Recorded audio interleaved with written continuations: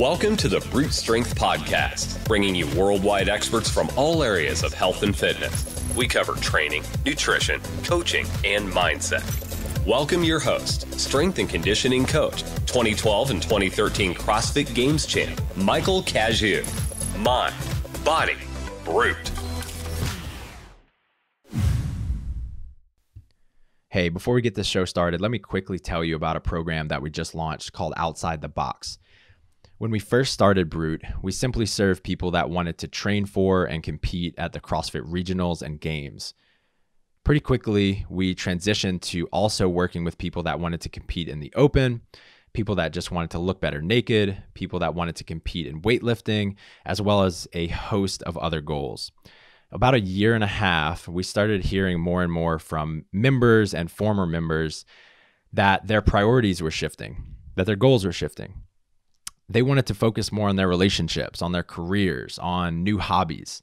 And they didn't have the same desire, they didn't have the time or the means to train for an hour or two or three or four like they did when they first signed up with us.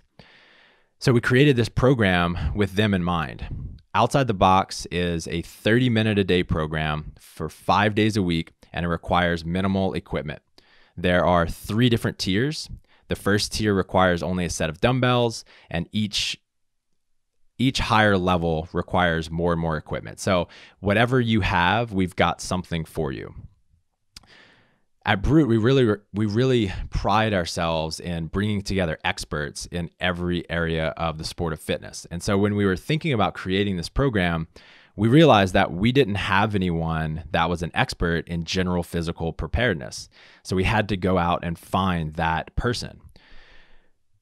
That's when we decided to team up with the founders of Warm Up and Workout, Pat and Taz Barber.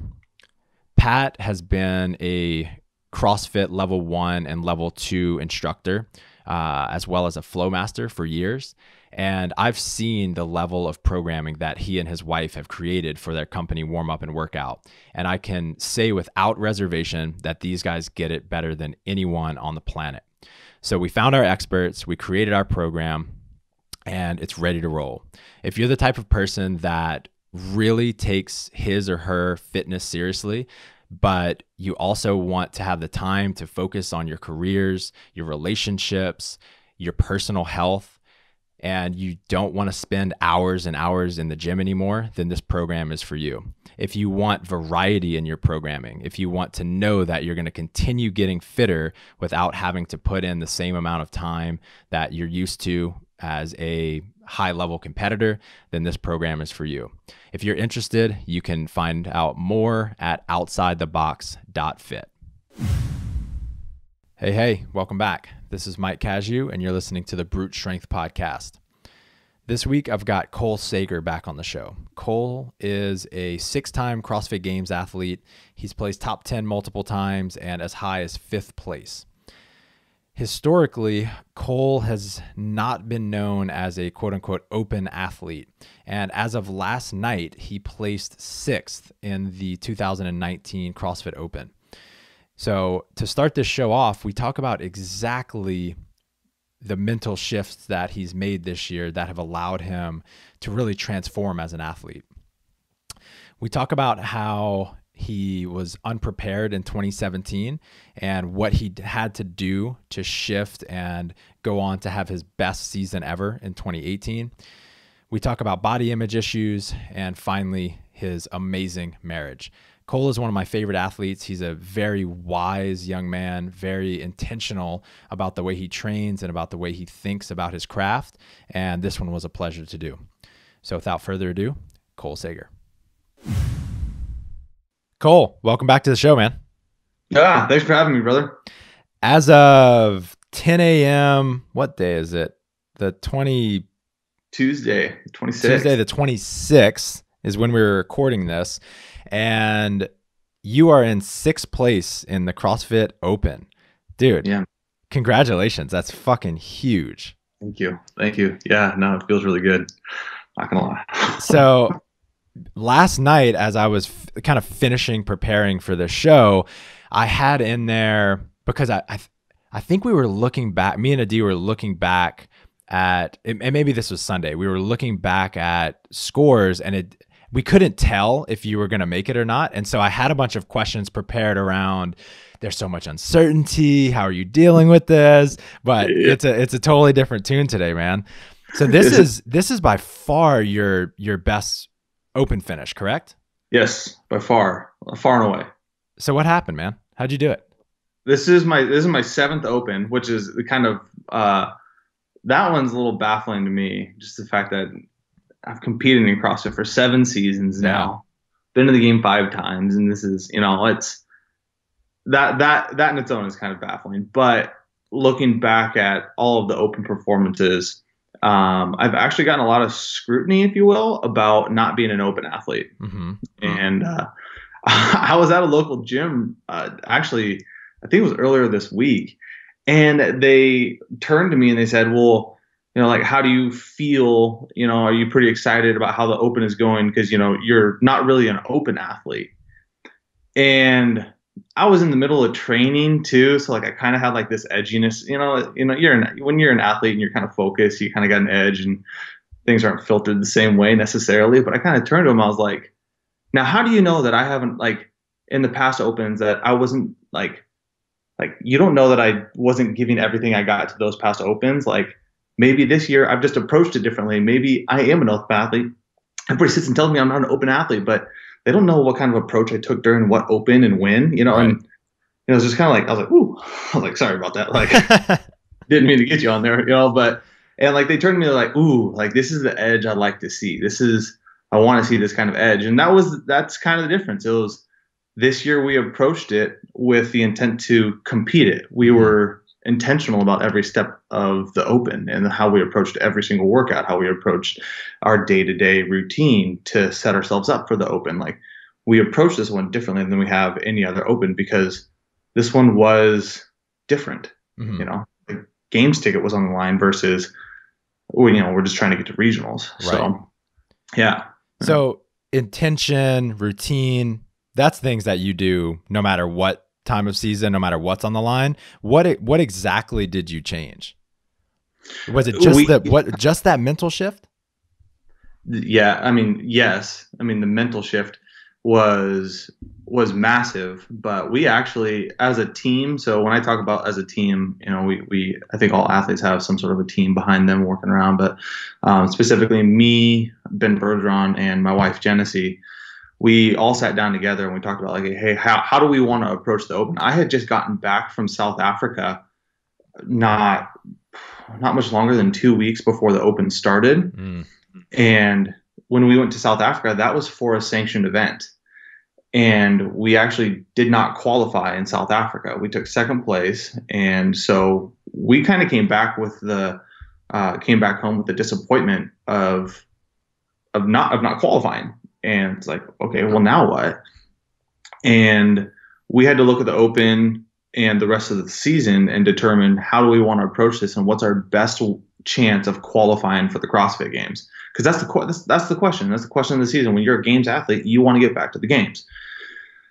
So we looked at it. We actually put our sights on a sanctioned event in May, and that was our plan. We were going to start training and preparing for a sanctioned event in May and that's where we were going to compete and we were going to put our, our eggs in that basket and then the open started and we did week one and we were going to do the open just out of the like like we're a games athlete let's just put our hat in there one because you never know what happens and then two like we're part of the CrossFit community. We want to be in the community and part of it and be able to talk about it. So like, okay, we're still going to do the open, but we're not going to put our full focus on it.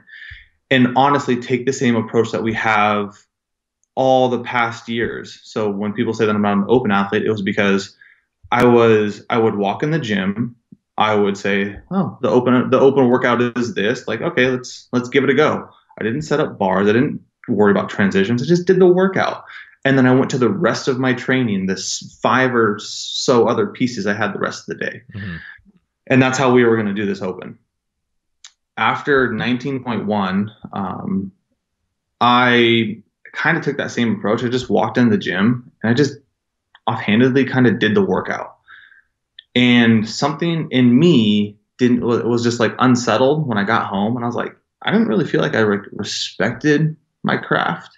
I don't really feel like I respected what I'm doing, and like if we're gonna do this, let's actually do it, and we can train the other days, but like let's actually give some intent and be intentional about the way that we do this workout. So that's when we were like, okay, like transitions matter, and we kind of looked at some different things and we set ourselves up in a good path in order to to get a good score for the um, for 19.1 and then 19.2 came out and that was an event that in six in 2016 actually took i think 11th worldwide in that event. Oh nice. So we knew it was a good workout for me and then that was when after that workout was announced we all kind of looked at each other like uh, we actually might have a shot here like this actually might be smart too. and so it was halfway through week two when we all kind of looked at each other and said, hey, let's flip a switch, mm-hmm. compete the open. And at that point, we had already kind of set up, you know, we, you talked about routine and habit. In week one, We've kind of set up those routines and started geeking out on the workouts, which is something that I love doing, by the way. Mm-hmm. Like, I can nerd out on workouts all day long. Um, and but that's something that we never did in the past and we started doing that we kind of set ourselves up for that so then when he's when when ben kind of looked at us and he said let's compete the open he opened up a floodgate and Genesee and I went to town. Like we're taking splits, we're writing things down, we're watching people's videos, and like, right. Like oh, it took him seven seconds to you know walk to, from the, this bar to this bar, and how can we take you know like we nerded out on things.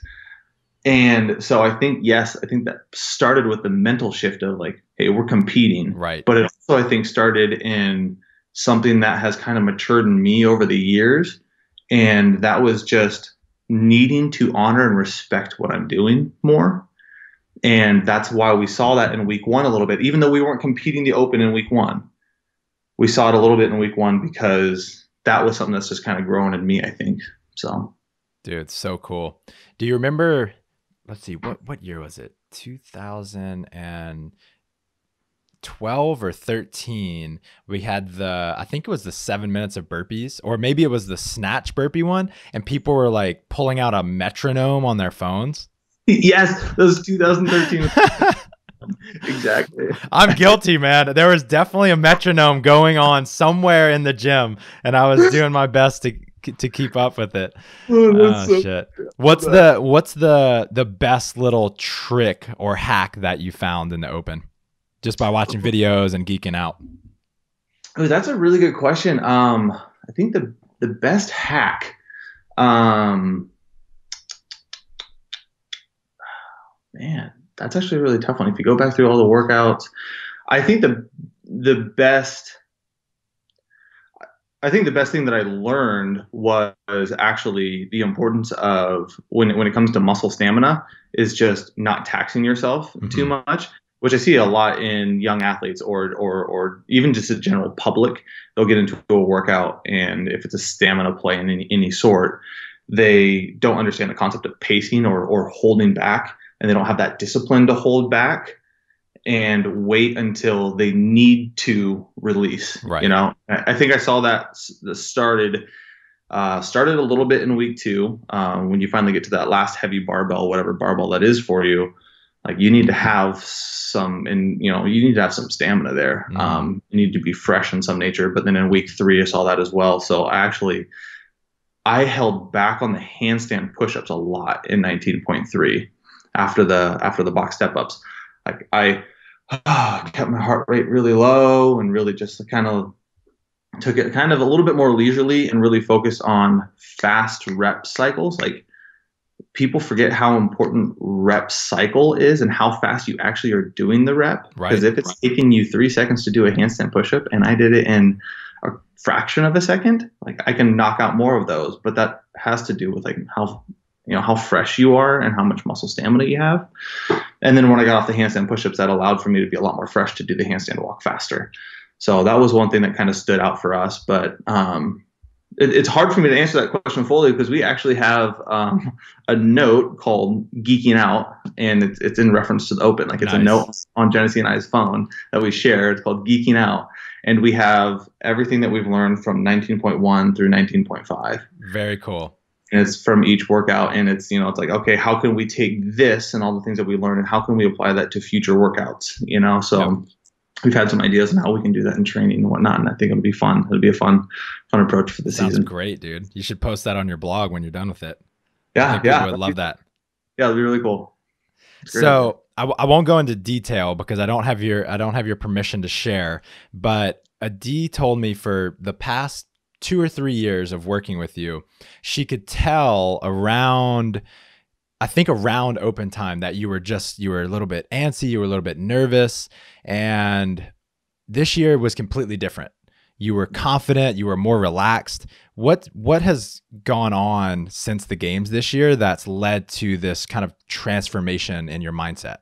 Yeah, that's really interesting. Genesee and I actually were, were talking about, kind of asked ourselves that question a little bit. And I think she said something that was pretty, it's not the easiest pill to swallow for most people because it's not the, it's not the question, it's not, it's not the answer you want to hear, but um, time, mm-hmm. time and experience, and just the maturity that comes with every new experience that you add on to yourself and that takes time and i think that having all of those kind of culminating on each other and you can expedite the process. You can you can talk to experts. You can you know you know talk to gurus and, and coaches and be coached through the process and taught and and learn it and read the right books and digest the right content. But there's just something about going through it right.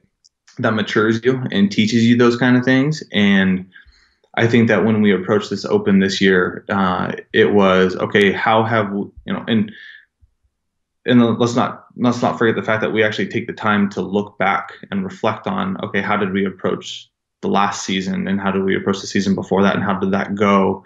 And we ask ourselves those questions. When a lot of people, if, if you don't do that and you just move forward and don't look back at okay what have i learned in the past like going back to the note that i was just talking about of all the things that we learned from the 2019 open. If we took that note and next year we never open it and we never look back at it not one time what was the point of taking all those notes and learning all those things? Because most of them you probably forgot you know? And so we we do that. We look back on some of those experiences that we've had what has worked well what has not worked well and we look at that for future endeavors that we're going into. Say how can we maximize these future endeavors by taking the things that we've learned in the past and you know i think that, that's a little a, a, quite a bit of it is just the fact that we've had some maturity or i've had some maturity in competing right. and learning that takes a little bit of time yeah so looking back now do you think there's anything in the world anyone could have said to you or any book you could have read that would have given you this level of confidence?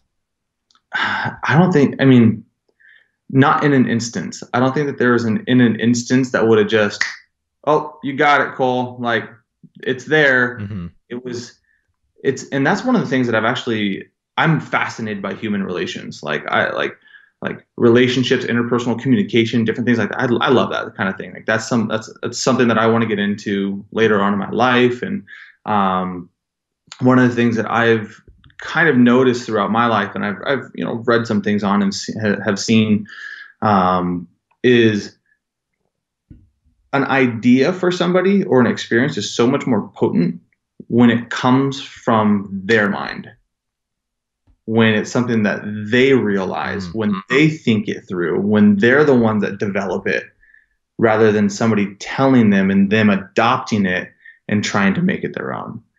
And so people, I mean, and it's amazing because somebody could say, if we, if somebody had that that perfect thing to say to me, that gives me all the confidence in the world and all the, it's like, oh, he, Cole's got it now. Mm-hmm. And they found that and they, they said that to me two years ago. I may not be in a mental space to accept that then, but you say it to me now and it might change and shatter my world and just like completely lift me up because of the mental space that I'm in. And, and so there's a lot of that too. Right. I love what you're talking about. People like people having their own ideas being so much more powerful. I heard this. One of my mentors told me this uh, gave me this frame of when you're coaching someone, you want to minimally support them. You want to give them as as little information as possible that they go and do the thing for themselves or they have their own aha moment. And what what happens a lot in coaching is coaches bring their egos into the relationship and they want they want to just teach everything and they want to they want to look like the hero so they rob the person of yeah. coming up with that idea concept aha moment themselves that's really good that's i and, and one of the things that i love that you just brought up was this concept of ego i had uh I had Ben Bergeron come out to my house uh, earlier last year, which was that was awesome. I'm usually flying out to Boston to hang out with him and whatnot, mm-hmm. but yeah, he, he, was able to make it out to the house, and um, you know when when when it's a concentrated time like that where you can just sit and talk and you know it's, it's a lot easier to kind of dive into some deep stuff so we were we were having some deep conversation and i asked him one of the questions like what are the what's the hardest thing that um, you've had to overcome in your lifetime and we started talking about that and um, you know he turned to me and I was the one that asked the question. He, he, he flipped script. He was like, "Well, what about you? Like, what's the hardest thing?" And it's it's, it's also like it's always tough because like you're sitting there asking people and like you ask them the question and it's like, whoa, don't flip the script on me. whoa, that's a good question, man. good question. Dang it, now I have to think about it. You kind of feel bad for putting them through it all of right, a sudden. Right. Um, but he flipped the script and he was like, well, what's the what's the one thing that you've had the most difficulty overcoming in your life? And kind of just sit and think about it. And then I realized I was like, oh my gosh, it's so glaring. And that's my ego like that's one of the biggest things that I've had to overcome in any situation, especially as an athlete. Uh, one of the things that I like I tell people a lot, and then I, like a, like a mantra that I've kind of coined is uh, going through sports is like living life and fast forward. You're forced to develop and learn principles that it oftentimes takes a lifetime for people to learn. Mm-hmm. And that's just I don't know, just kind of having to overcome overcome your ego and and like realize like oh like I need to take a step back and realize that I don't know everything. I have a lot to figure out and that there are people here trying to help me and serve me and that what I'm doing is not just about me, it's something far bigger and it's to help other people and I'm not the only person in this world and I don't know so many things that sports kind of kind of can teach you um, if you're willing to listen and to learn. But if you're not willing, it's usually because your ego's gotten in the way, you know? And, right.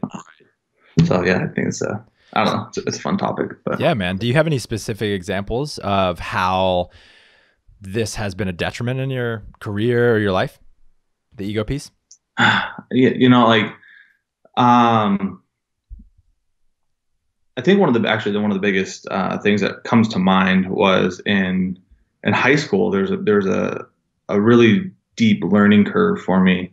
Um, I was, I guess, I guess what you'd call like Mr. Popular.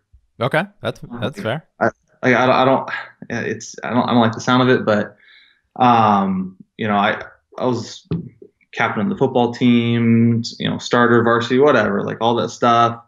Um, you know, had a lot of friends and was just kind of popular and that's something that can always be tough to um, navigate when you're younger. Um, and I actually in high school had a uh, mentally challenged student kind of really take hold to me and really like kind of kind of almost like obsess over the fact that he knew me mm-hmm. and now we were friends and he would look for me between class classes and he would want. He would come running across the quad like oh like and just going crazy. And it had gotten to the point his kind of enthusiasm had gotten to the point where it was actually like turning off my friends to the point where like they didn't want to like be around it didn't want to be around me. Mm-hmm. they would see they would see him coming and they would like just peace. They would ditch. I'm out. Like i'm not dealing with this kid anymore. I'm not. And like I don't know why, but something kind of just like pulled a heartstring, and I became attached to him. And you know, we would start to sit and like have lunch together. It was just just me and him at a table uh, because people didn't want to sit with us anymore because he was kind of he would kind of hiss at people, you know, like you know, and he'd like he'd get really defensive about me. So if somebody would come and hang out, like he would like smack them or scratch them or something. Like amazing. Yeah, and it was it, and it was just because his his his brain hadn't fully developed yet to the age that he was. He was right. you know younger mentally and um, he's a great kid and he was just super enthusiastic about everything. So anything that he loved, he was just so mm-hmm. enthusiastic. And I don't know why, but that was kind of contagious to me. And I don't maybe it's just because I'm one of those individuals that does like when I get attached to something, I'm extremely enthusiastic about it. I'm all in. And so there's just something about his personality that was like like like I get that this isn't normal, but I, you also have a soft spot in my heart because I have been so fortunate and given so much, like so much ability, so much like like talent, and like so there's like a soft place in my heart for that, and that was something that I had to get over at a young age, just realizing like I could either like really need and want the attention from all of my friends and all of like society and whatnot, or like I can put my focus where something that really matters, and this is like a life that's in front of me that matters way more. And I can put my focus here and really care about this. And it kind of taught me a little bit about just the way that, you know, I approach dreams and and goals and whatnot. That I don't need other people's approval. I don't need other people to champion me if I really know that this is the right thing mm. and this is the right direction that I want to go. And if this is something that is so so right and, I, and it feels right, and I may not know how to articulate it, but it feels so right, then go all in and be there and be willing to be by yourself, because eventually people are going to admire that. And it's kind of what happened. You know, I got a lot of praise. I can't believe that you would hang out with him the way that you do and the way that you treat him and I don't know it was just that was that was something that really just kind of hit me hard when I was when I was younger I was about 18 years old then so Oh, it's beautiful, man. Thanks for sharing that. Yeah, yeah. So in your garage, there reads a quote. I think I think it's in your garage, gym. Uh, I will prepare, and someday my day will come. Abe Lincoln. Mm-hmm. After, and I'm, I'm I'm going to go back to the post 2017 games. You said that you were un- underprepared, um, yeah. and just like I said earlier, you know, routine, intention, preparation just seems like a part of who you are. So can you tell us more about that games and and what your mindset was going in and just how how exactly you were unprepared? Yeah, um, you know, in 2017, it's it's like this this asterisk year. Kind of interesting, just when I look back on my career, and uh, it was the it's probably the year that I'm the most thankful for, honestly.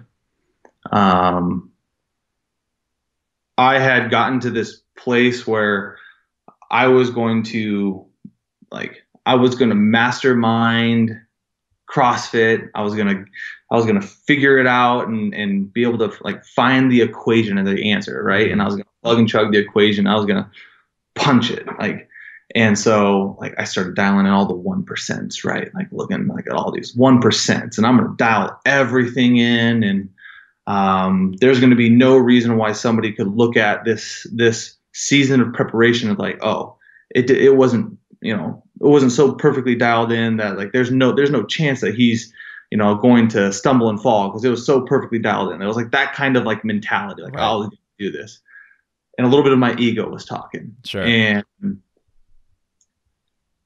looking back on it, it actually ended up being the most complacent season that I've ever had uh, it was the most complacent probably year of life I've ever had. Like honestly, like when I was younger, like I had this like kind of like this gritty pit bully like I'm gonna go work and I don't care if you're in my way. If you don't want to join me, like get out of here. Like I got work to do. Mm-hmm. Like there's I there's something in my heart that like is pulling this direction. Don't like get out of my way. And it was that season was so much of like looking around at people for the answer. And it's like, okay, like, well, okay, well, where, where, where could we dial this in? Where could we fix this in? And like, I had that, I actually had that talk with Adee a lot. That was like, I think that was our second year working together. Mhm. Uh, I remember this. and like there was so many times that I would come to her like, hey, how can we like manipulate this and trick this? And um, you know, I would I would fit things into my diet and routine that like like in like even the general population can intuitively figure out like, ah, you're an athlete, you probably shouldn't be eating that like but like I fit it in my macros, so it's it's fine. Like, and I was finding reasons to justify things and and looking for people for answers, and I wasn't taking hundred percent ownership over my season. Mm. And I had gotten so wrapped up in dialing in these one percents, you know, like I'm gonna get a half hour extra, you know, of sleep, and I'm gonna uh, be on my macros by the gram every single day, even though that like I fit a Butterfingers in, like, right. but that like that kind of thing, and um, you know, and I'm gonna I'm gonna recover, you know, uh, an hour and a half every single day, whether it be foam rolling or in the Normatec, like everything. I was just like these little nitpicky things. And after the season was over, and like Genesee and I came home and we were having some deep heart to heart talks about it. Like, what the heck just happened this last year? Like, and the interesting thing is, is, is that year at the games, um, I had gotten sick while at the games, and that was a kind of that was a funky year. There's quite a few people who got sick that year. Mhm. Um, we had an algae bloom in uh, Lake Mendota. I think the lake that we swam in. There was an algae bloom the week before the games. So there's some buzz that maybe people got sick from the algae bloom when we when we swam in it, like from the bacteria and whatnot. Right. Um, and that's a like that is the perfect thing for where I was that year. That's the perfect like the perfect scenario. I'm looking for all these external reasons and factors to point at and justify why maybe I didn't perform well. And it would have been so easy to look at it. Well, like I got sick. I got sick at Lake Mendota. Like Mhm. bacteria. Like, yeah, no, I just got, you know, and like there's pictures. I can pull pictures up. Like I had like uh, um, hand towels like wrapped around my hands and like covering my face in the in the athlete area. And I'm sitting there like and I'm shaking. I'm laying on Genesee's lap, just like trying to like sleep between events um, because I was just like like I, I really didn't feel good. But there was a lot of athletes who also didn't feel good, and they outperformed me. But it would have been very easy for me to say it was the lake Yep. it wasn't the lake. It was me. It was me for an entire season looking for other people to take ownership for my behavior. It was me. And I think that that that year I had to realize like wow, like I have been extremely complacent and I have not owned the fact that this is about how bad I want it, not how bad other people want it for me. hmm And that's when we came home and we realized we had spent so much time focusing on the 1%, we had lost sight of the 10%. Right. And the 10% is go work your freaking tail off, dude. Go get wake up every single day and your goal is to work really, really freaking hard every day. Every day. And guess what? The 1% dial themselves in. If you focus on the 10%, they they just fall into place. And when I woke up every day with the mentality of like, I'm just going to grit it out. I'm going to grind. I'm going to give everything I have to this. I'm going to respect and honor everything about the craft. I'm going to just work my tail off. I didn't have the patience to not dial the 1% in. Mm. It's like, I'm going to put this much effort and intensity into this. Like, I'm not going to let that slip by. Like, no way. And all of a sudden, that, you know, like, that's when I, like I started to ha- hear people tell me like in at, at the 2018 regionals last year, like, oh, you you seem like a different athlete. That was like the mental shift that occurred then, you know. So, yeah, it was That's huge, man. Yeah, yeah accountability complete ownership when you when you say something like that like what you just said i think it kind of goes over people's heads because it seems so subtle. Like, oh, he just he, you know, he said it it was him and not the not the ocean or not the not the lake. But this yeah. is this is one of the keys to high performance right here. What was it about the conversation with Genesee or just what was going on in your head that allowed you to accept responsibility for your performance and not blame external circumstances? I, I, you know, I had to do some, I had to do some soul searching first. I think, I think there's a little bit of that, and like ask myself the tough, be willing to ask myself the tough, tough questions. Uh, one of the things that I focused on over the last couple years is the, like really accepting that it's okay to be vulnerable, that and and that it's needed. Like you have to be vulnerable with yourself because if you're not willing to be vulnerable with yourself, how are you going to ask yourself the tough questions and answer honestly? Mm-hmm. You're not going to. So what do you and, mean by vul- vulnerable with yourself? Well, well, I have a I have another saying that I tell people a lot is like, look, you can you can justify anything. You can justify anything. Like, tell me you want to do something, I I could probably justify it for you. We would find something. But if you actually want to like really get to the root cause of why you want to do anything, why you want to be so like why are you passionate? Why is it this fire burn in your heart? Like you have to be vulnerable with yourself to go there because if you're not and you don't open up that ability to be honest with yourself and keep promises to yourself, like you're never going to get to it. You're going to find a reason to justify not not doing it. You'll always find that reason. But if you get to the root cause of why you want to do something, why it's so important to you, why that this, this thing just like this fire is in your soul, you start to be like, all of those justifications just kind of like go to the wayside. It's like, okay, that's bull crap. Mm-hmm. That's, that's bull crap. Like, what I'm like, that's not, that's not it. I want this. That's not going to help me get there. And that was a place that I kind of had to get to myself. Is like, why, why are you doing this, man? Like, mm-hmm. like, let's like be honest with yourself. Like, why are you doing this? And had to get past the ego first, uh, you know, and be willing to accept and take responsibility for my actions.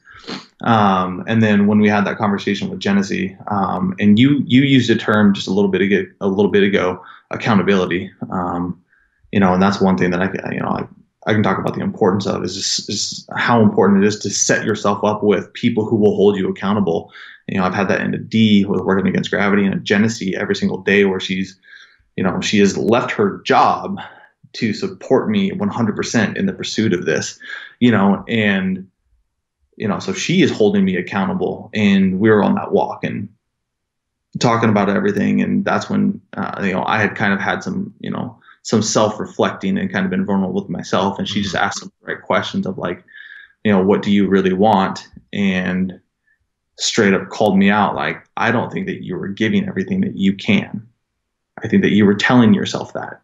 And had i not been in the right mental space and created that myself by trying to be vulnerable vulnerable with myself i do a lot you know we talked i think last podcast about how much uh, you know journaling, journaling and reflecting and prayer i do in the morning um, or just you know from time to time like you know if i need to get something out of my head i get it down on paper or in a note or something of the nature um, you know and uh, i've also talked with genesee about like when you are having self conflicting thoughts and your mood is going south and you're just kind of bitter talk to somebody about it. Because when you start to hear those words come out of your mouth it makes it real. Mm all of a sudden you realize how unreasonable you're being and how uh, like you're being a little dramatic or listen to yourself dude you're making a lot of justifications and that was one of the things i think that like why our talks are so potent is because i have an accountability partner in genesee and i can go and i can get my thoughts out and she's willing to listen and then also call me out mm-hmm. and that's really cool it's been a really fun dynamic so that's amazing man something I teach at seminars sometimes is called the Johari window. It's uh it's basically a model to teach self-awareness. And mm. one of the so there there are four quadrants. There are things that I know about me, things that I don't know about me, things that others know about me, and things that others don't know about me. That's and so right. there's this one section that is called blind spots, right? There are things that we don't know about ourselves that others can see. Yeah. And if we allow people to give us direct feedback, they can teach us so many things about ourselves that we just we can't see right yeah. we, we have these we have traumas in our life whether it be uh, severe or or not severe uh, we have things that we learn from our parents that we just think that's just the way the world works but it's actually yeah. an obstacle in our way of reaching our goals yeah. and if we allow people and don't get defensive when they give us direct feedback like genesee gave you they can be our biggest teachers that's really good i really like that I can see that playing out in my life in a lot of ways. I, mm-hmm. Honestly, I can see that in a lot of instances where that has that has happened. That's very cool. The problem that most people run into is that they are so defensive when someone even yeah. approaches a vulnerable topic like that right totally. most totally. most athletes if faced with that kind of feedback probably would have gotten angry that she even like how how how dare you? I put in so much work. I dialed in all the one percents, and it could have it could have blown up, right? Totally escalated, hundred percent. Yeah, totally. I mean, that's so easy, but that's I mean, that's one of the things that human beings, like I don't care who you are, don't like to be criticized. Mm-hmm. Like it doesn't feel good. That's not a good feeling. So it's what's people's like people look out for themselves. They want to feel important. They want to feel cared for. They want to feel loved so to have all of a sudden have somebody just critique you and it's like whoa hey i don't like this. And that's something that you have to like you almost have to practice those scenarios in your mind. So when they come up you know how you're going to respond. Mm-hmm. and that's I, I think that that's something really important for people to do to know make up in their mind mentally before they get to those situations that's the type of person I'm going to be when that arises. Mm-hmm. So when they do, when somebody does criticize them and give them, you know, uh, uh, uh, critiques, they know how to accept that, and uh, you know, which I think is really important because, like you said, like there are blind spots that we can't see. Like, like there are there are things that, that about that season that that Adee probably knows about me that I haven't even like talked to her about yet. Mm-hmm. which honestly, like I would love to hear. um, you know, so I, that's I like I like that a lot. That's that's a really good point. So now I want to go even further back. You've been really transparent about your issues with eating in college. Is it fair to say is, is it fair to call what you had an eating disorder or or it wasn't quite that bad? Uh, you know, it's that's a tough one for me to to to identify. I'm sure that if you talk to an expert or something like that, they'd probably call it an eating disorder. Gotcha. Um, I would say that I was just I was obsessive. And I think it's really easy for society to look at people who have like this intense goal. Um, and they look at intensity like it's obsessive, like it's a disorder. Mm-hmm. Um, like, why would you ever be so intense about something? You know, and I, actually, I think, uh, um, gosh, Brendon Burchard, we were just talking about him. He has like some, some crazy or, or, or a really good quote about if people don't think you're crazy yet, you're not quite operating at your full potential mm-hmm, kind of thing. Mm-hmm. And so people look at you like when you're doing something and it looks crazy, they look at it like, wow, that that's so off, that's so wrong, you have a disorder. It's like like no, I just really wanted to achieve something. So uh, did it border disorder? Yeah, maybe. Gotcha. But so what, I so how did it begin and what was really going on? So um so I was a running back at the University of Washington, and uh, all like my whole life, like all I wanted to do was was be a running back, play as a running back in the NFL. Like that's what I wanted. Um, and so to be a running back at the University of Washington and to see all of these athletes who were on the you know who were above me, who were the starters on you know higher up on the depth chart and seeing what their bodies looked like. And that was something that i had made a connection with was you're extremely fast. Your muscles seem like they fire and operate at a different level. And i didn't have like the education and the, and the knowledge to understand everything that was going on. All i knew is you look different and you move different. If i looked more like you maybe i would move more like you.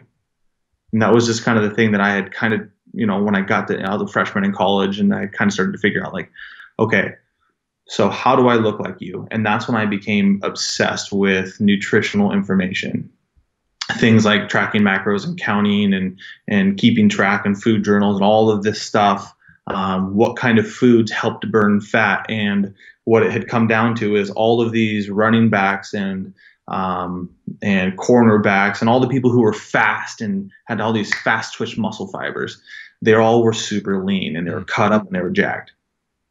And uh, so I told myself like if I look like that, I'm going to be uh, be able to operate like them. And that was something that that I had kind of started to think was was the answer. So that's kind of what slowly started the progression of becoming just so obsessive and possibly having you know an eating disorder um, and uh, it essentially just it dived in and i wanted to get as lean as possible so i only ate pretty much you know broccoli and chicken and um, like just like anybody uh, I think where where I think people really want to know, like, well, why was his eating dis- the way he eated a disorder? And it was because like I had gotten to the point where I had like cravings, and when people would have and bring around like desserts and stuff like that, I would sneak some off to the side. I would chew it up, get the flavor in my mouth, and I would spit it out. And like that's bordering some, you know, eating disorder kind of, you know, like there's something that's kind of not not right. I don't know, maybe but like and i'd get like super judgmental about like how people would eat in front of me um you know like oh my gosh i can't believe you would eat that like why would you you know and and that took about probably a year and a half to two years for me to get to like my uh you know my worst point but it was a slow fade of learning and geeking out about everything that would make like i found out that blackberries have some sort of uh, enzyme in them that actually helps burn body fat or adipose tissues. Mm. Like I started just crushing blackberries all the time, you know, like all day. Yeah, all day, every day, man. Like that's hilarious. Weird, weird things like that. Um, but again, I think it was more so just because I had this intense passion to operate and live a certain way and achieve something that that was more of a result than um, than you know the actual uh, cause, I guess. Mm-hmm. So then what happened? I think at some point you had to gain a bunch of weight to become a fullback. yeah. So then, so like I'm, you know, and I've gotten down to probably living around 6% body fat or, or you know, maybe even less at times. What, what are you uh, at now? I've gotten really, what am I at now? Yeah. Uh, I think I would be right around 8% right now. Um, last, last time I got body fat done, I was so right you're even eight. leaner. Got it. Yeah. Um, so so like sitting and operating around five percent body fat. I also wasn't. Ta- I was barely taking any carbs too. So like, anytime that I would had, I had the ability for like life to quiet down. Right. I would just fall. I would just pass out because I didn't have any. I didn't have any energy, and I would just fall asleep randomly. It's like, does does he have narcolepsy? Like, is this a thing? And just you know, I just wasn't eating for performance. I wasn't eating to fuel my body in any way. I was just eating to stay really, really lean. I was on a constant deficit and cut. I mean, it was really the grand, you know, the grand scheme of things. Um, and then so my senior year, I was kind of given the ultimatum like, hey, look, if you want to get more playing time, we need we needed another fullback, so we need you to move to fullback, or you can just keep you know doing what you're doing. And like what I was doing was great, like, but I wanted to be on the field more. Like that was something that I, I wanted to be on the field more, and I wanted to give my chance myself the chance to get to the NFL. And I knew that the way to do that was to get stats, and the way to get stats is to get on the field. so I wanted to move to. Uh, so I decided to move to fullback, and that required me to put on 35 pounds um, or so, uh, maybe even a little bit more than that. And I went from uh, yeah 197 pounds to 235 pounds in the span about four months or so. Um, Jesus. Yeah, and I, I I I tried doing it healthy at first, like just like okay, like let's take all the knowledge and information that I've gained about how to eat right and healthy, and I'll just start doing it. And I started adding in all these foods, um, you know, and, and eating all this extra food, but I was trying to do it healthy, and nothing was really moving the needle. Um, and I had gotten to the point where I was actually eating so much and so frequently that I would eat until I threw up. Mm-hmm. And uh, and it and it wasn't like I'm just recklessly eating. It was because like I had calculated out all of the food that I needed needed to be eating and, and the calories that I needed to get in in order to gain this weight. And in order to do that, I had to eat this many calories. And it's like I was like, oh, like I got to get that in. I don't want to. Oh, and I'd eat it and throw up, and oh, okay, I got to start over. Like it was miserable. Um, and uh, then like I finally like tossed my hands up in the air. I was like, you know what, screw this. Like I'm eating so much food and I'm just like nothing's happening. I'm gonna I started going to QFC, which is like just like a like a like a Kroger grocery store. Mm-hmm. And uh, every Thursday, we, I, you know, we obviously we lived in like the U district, so we were in like a college area and whatnot. I think it was every Thursday they would put their frozen pizzas on sale, 10, 10 for 10. Um, so I'd go to the frozen pizza section and I would get 10 pizzas. Nice. And and the reason the reason why is because I went to GNC to look at a weight a mass gainer and I was going to start taking the mass gainer, but I had done the price per serving of a mass gainer and it was the same macros as a whole pizza and it cost more per serving so i was like wow. i'll take the pizza so so anyways yeah so i started doing that eating just like crushing anything and everything that i could find pastas pizzas ice creams um, just did it completely the opposite direction of what i wanted um, because i wanted to play more than i wanted my body necessarily. Again, I think that the body side is just the result of you know the root cause of wanting to compete and why I was just so intense in that. So it was why I was I, why why I was willing to go from one extreme to the other mm-hmm. because this is what I want and I think I think this is what it takes to do that. You know, so um, you know, I, I, remember having my coach one time tell me, I was like, why don't you just do it with beer and pizza, man? Like just drink a bunch of beer and eat pizza all the time. And I, I don't, I don't drink and I, I never have. So I was like, ah, you know, like maybe, maybe I'll try it with ice cream. Pizza and ice cream. That sounds great. Pizza and ice cream sounds better to me. So, um, but yeah, man, it was, that was a, that was a, that was an interesting transition to go between those two. Yeah, I imagine, man. So since then, obviously you've, gotten shredded again. You're you're tracking. You're on top of your shit. Um, and now you're in CrossFit, which is kind of a cross between uh, team sports and bodybuilding. And CrossFit, more than almost any other sport, people are like the athletes' bodies are glamorized almost as much as the sport itself. Do you feel any um, pressure to look a certain way? And do you have any sort of like body image challenges that come along with that? Absolutely. I, I would I would be lying if I said that I didn't. Um, you know, I definitely I like the aesthetic look. Oh, once you get to that point and you see your abs come out and you see veins popping out of your biceps, and it's like, wow, that looks really cool. I like that. You know, and and you kind of get like these these you know hits every time you look in the mirror. It's like wow that looks really good. Mm-hmm. and it's like you you kind of want that.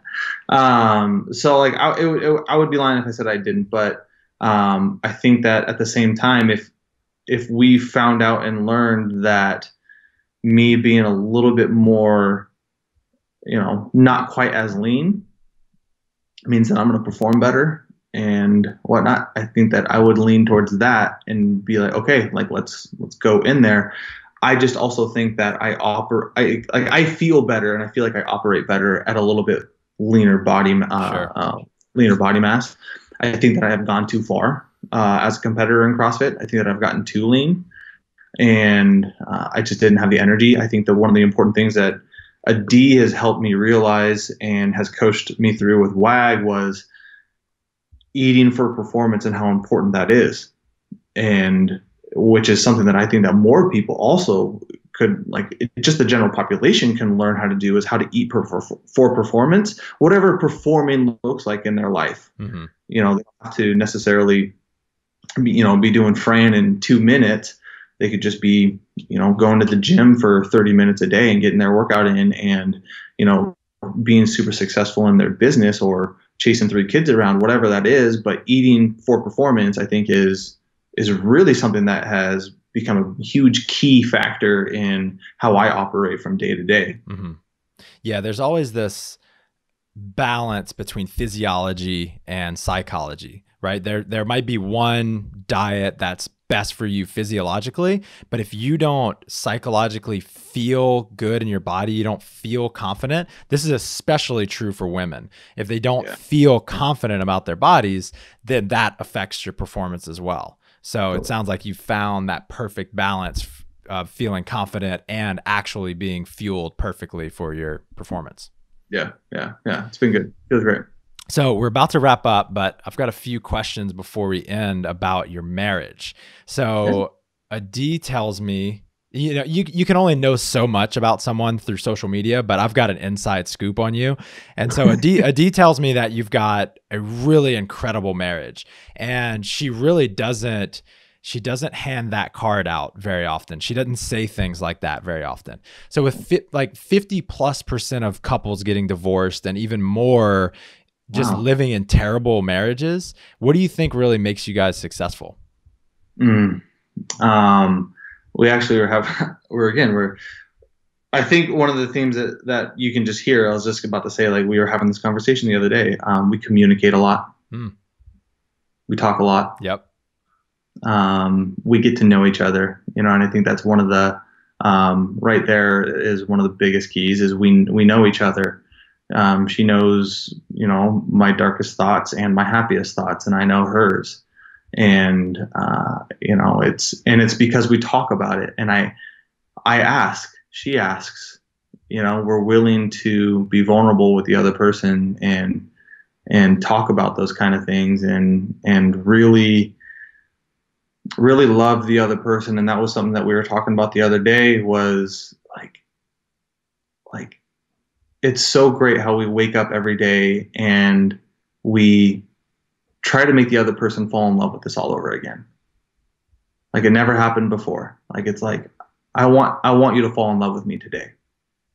And what that looks like for us is serving each other and being there for one another and trying to make the other person smile and have fun with the other person and be willing to help and go out of the go out of your way for the other person.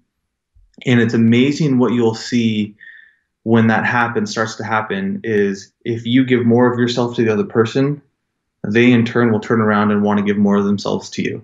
Yes. And i tell that to people all the time like that's a that's that's, that's a human relation thing. Like if you give all that you have, you're going to have all that you need. Because people are going to see that, they're going to recognize that, and you know, like there's there's there's um, you know science on it and the serotonin levels and oxytocin and leadership roles and all these different things that play into it. And really, what it is is just this relationship that gets built when somebody gives something of themselves, and it's like, wow, like thank you so much for that. Like, how can I help you? Mm-hmm and then you start doing that for each other and you see that in friends you see that in marriages you see that in business you see that in and i think that that's just something that you know it, it's it's almost like we've just become so infatuated with it like you help me so much all the time like what can i do for you and then it just full circle all the time man so oh man so so much good shit in there um, it's all about the habits that you cultivate right so you guys have a habit of treating each other almost as if you're still dating. It sounds like, right? You're still mm-hmm. courting each other. And yeah. We everyone hears this like this is the way to make a marriage last. Like you have to continue dating, etc. But it's so hard because we take for granted what is closest to us, our family. Because yeah. we, we believe that they're always going to be there, so we don't have to delight them and have adventures with them and you know try to make them smile on a daily basis yeah, but if you get in the habit of of doing that like you do your life and your relationship will just be on fire. Yeah yeah. It's actually really interesting that you brought up like just like family and whatnot because i i have gone through seasons uh, you know crossfit seasons competitive seasons where um, i played the i'm too busy card pulled it too many times. Mm-hmm. and all of a sudden like like like people weren't really all that interested in what I had going on, and it was because I stopped answering my phone, I stopped replying to text messages, I stopped being available for other people because my goals and my dreams and blah blah blah. And then then I kind of clicked kind of clicked. I was like I'm not I'm not giving anything of myself to other people. Mhm. why would they want to get behind what I'm doing? It's just a selfish act at that point in their eyes so you know and and so I actually honestly I I was vulnerable with myself and I said like man like you need to start being there for people more. And worrying about other people's dreams and goals too and like actually caring. And it was actually amazing the kind of responses I started to get from people and th- them not knowing that I was you know doing this. Like this is you know an internal affair that I was having with myself. Mhm. um, and I was like, because I was curious to know like how people would start to respond and people's response and how excited they are for me for taking six in the open or for how I'm doing throughout the year really increased. And it was really interesting to see that. It's like, oh, like if you love and care for other people more, they're going to do the same for you. So, Yeah, I, I really like you. You hinted at at this earlier, which is be more of be more of what you want from others, right? If you want patience, be more patient, kind, be more kind, etc. exactly. That's awesome, man. So you you multiple times throughout this show you've mentioned being vulnerable with Genesee. A question that I get from people all the time is, okay, you gave us this like series of questions to ask each other or this exercise, but how do I begin that type of conversation? It seems so like formal and difficult. How do you guys start a vulnerable conversation? uh, that's probably almost tough for me to answer because it's it's become such a habit. Mhm. Um, but like, I'm not afraid to say like, "Hey, I need your help." There's cue words that you can use with people, and I think one of the things that is important in human relations is to make the other people, other person, feel important as well.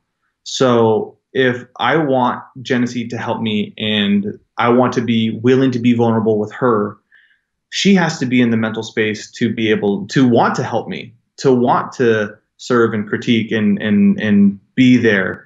So I have to give her the four. I have to give her that space and say, hey, like I know that you see this and I really value your opinion. I really value the words that you say and you kind of give them the this honor and respect that they deserve in your life and then all of a sudden they're like oh oh thank you. Like yeah like I, i've seen this. And it kind of sets them up in the right mental space to to want to help you because you've respected the, that about them. Right. but it's kind of you know if you approach it with this you know kind of like your ego like ah like hey like uh you know i've kind of been noticing some things and just kind of wondering what you know kind of wondering what you what you see and it's like well uh no you're fine. Like i don't really see i don't really see anything. But you really come to them and like hey like like i like i respect and i value what you have to say. Hmm like what what are you seeing? Because i really want to grow and i really want to be better for you and i want to be better for other people. And i think it's easy for people to champion something that is outside of the other person. So it's like if i'm sitting there if i'm t- if i walk up to genesee i'm like hey like i want to get better um at you know i want to be a better person because uh, it makes me feel good about myself like she doesn't want to get behind that hmm but if I told her like, hey, like I want to be a better person because I want to, I want to be better for our community. I want to, uh, you know, I want to know how to respond better uh, to my family, and I want to be able to serve you better. It's like that's a little bit easier to get behind, you know. So I think kind of approaching things in that way and setting up the other person to make them feel honored and respected, so they want to speak life into you. I think is important. I like that, man. Yeah, we we've got three, I think, that we reuse that are just super simple. Um, one is, hey, can I share something vulnerable with you? Two is, hey, can I make a request? And three is, hey, can I give you some feedback? And at our best, we kind of lower our, our voice a little bit, we lower our tone, and it comes across really softly. And mm-hmm. then if we're pissed, it comes off a little bit differently, but that's just how it comes off. And when when we hear one of those three things, like you said, we're in such a good rhythm with just respecting what the person is about to say that's sharing something vulnerable and even though even though it's uncomfortable receiving information sometimes we know that on the other side is something better, right? A higher version of our relationship or a higher version of that person or ourselves. Yeah, I mean, it's, I mean, it's one of the things that you have to remember is like the other, your spouse or your significant other wants the best for you too. Yep.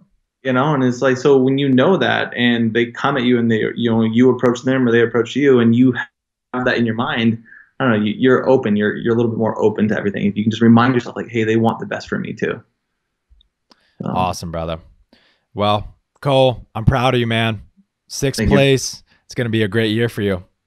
Yeah, yeah, really looking forward to it. Very grateful for everything that that you know I'm getting to travel down and the journey that I'm getting to go down. It's been it's been a lot of fun. Love it, man. What's the next step for you? Are you going to do any more sanctionals for competition practice, or are you just getting ready for the games now? Uh, uh, so we will we will start games prep um, pretty soon, and I mean I think that's one of the most exciting things about qualifying through the Open is like we have this like new like timeline to prepare for the right. games. Cool, but we will actually do the Rogue Invitational. That is okay. something I'll do. Um, being a Rogue athlete, I think it'd be really fun to go out and do uh, the Rogue Invitational. So um, yeah, that's in May. I think May 18th. So we'll kind of set on that, but um, yeah, just kind of take the season and, and, enjoy it, man. Excellent, man. We're rooting for you. Where can people find you on social media? Uh, at Cole Sager 35 and uh, YouTube channel Cole Sager. And you've got your you've got a website with a blog. Where where can people find that? Yeah, uh, ColeSager.com. Amazing. Right. You the man. Thank you so much for your time, Cole. Michael, thank you so much, man. I had a lot of fun. Really appreciate you, brother. This episode is finished, but your training journey continues. Head over to brutestrengthtraining.com slash SSW and grab your free pack of 32 accessory workouts that you can incorporate into your training and start improving your strength immediately. That's brutestrengthtraining.com slash SSW.